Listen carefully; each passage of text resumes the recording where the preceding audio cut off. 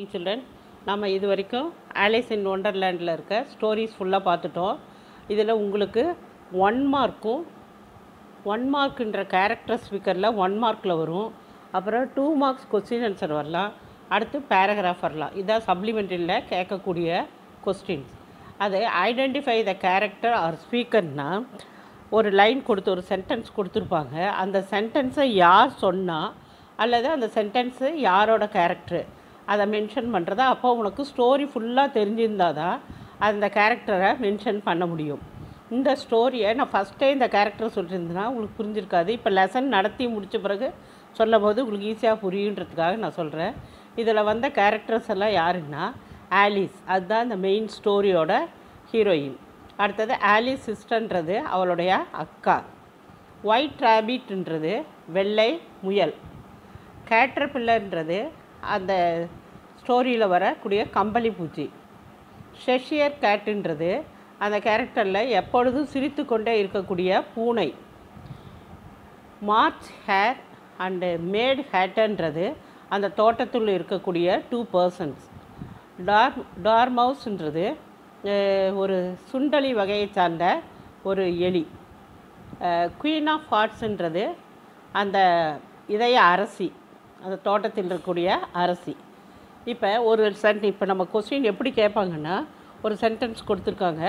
அந்த சென்டென்ஸ் வந்து நீ படித்து பார்த்து அந்த சென்டென்ஸை யார் சொன்னால் அல்லது அந்த சென்டென்ஸை யாரை மென்ஷன் பண்ணுதுன்றதை நீ பார்த்துட்டு அந்த ஸ்டோரி நல்லா தெரிஞ்சால் உன்னால் சொல்ல முடியும். இப்போ ஃபஸ்ட் ஒன்று என்ன கேட்டிருக்கு? I must find out why he is in such hurry நான் கண்டிப்பாக இதை கண்டுபிடிச்சாகணும். ஏன் இது இவ்வளோ வேகத்தில் ஓடுதுன்னு? சொன்னது யார்? ஆலிஸ் அதை சொன்னது யார்?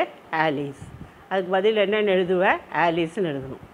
Go to my cottage and fetch my gloves gloves gloves and fan go to my cottage and நீ போய் என்னுடைய அந்த வீட்டில் இருந்து என்ன எடுத்துகிட்டு வா? க்ளவுஸும் ஃபேனும் எடுத்துகிட்டு வான்னு சொல்கிறது யார்? White rabbit oh no I will never get back to the right size அவள் என்னென்ன ஆலிஸு ஒன்றா பெருசாகினா பெருசாயிட்டா? இல்லைன்னா ரொம்ப சின்னதாயிடா?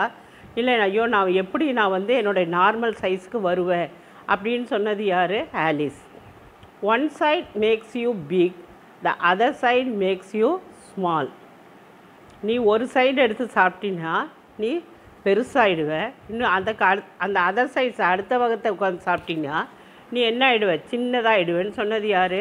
Caterpillar I will see you later at the queen's croquet game game நான் வந்து உன்னை எந்த இடத்துல சந்திக்கிறேன் அந்த குயினோட குயின் விளையாடக்கூடிய அந்த விளையாட்டு இப்போ என்னது? புல்வெளியில் விளையாடக்கூடிய விளையாட்டு. அங்கே விளையாடும் போது நான் உன்னை வந்து அங்கே சந்திக்கிறேன்னு சொல்லிட்டு போனது யார்?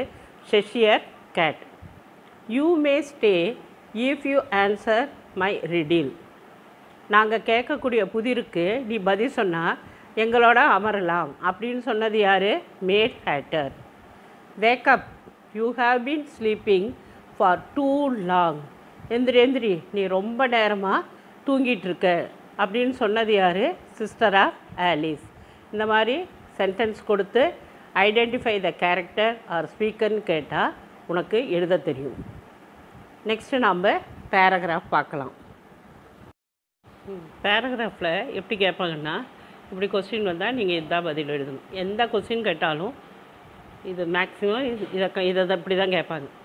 What challenges does Alice face and how does she overcome them அவள் என்னென்ன சேலஞ்சஸ் எல்லாம் ஃபேஸ் பண்ணால் அதுலேருந்து எப்படி அவள் திரும்பி வந்தாள் ஃபஸ்ட்டு ஒன் ஆலிஸ் இப்போ நான் உனக்கு இது பாயிண்ட்ஸ் போட்டு எழுதியிருக்கிறதுக்கு உனக்கு பைகாட் பண்ணுறேன் ஈஸியாக இருக்கிறதுக்காக தான்.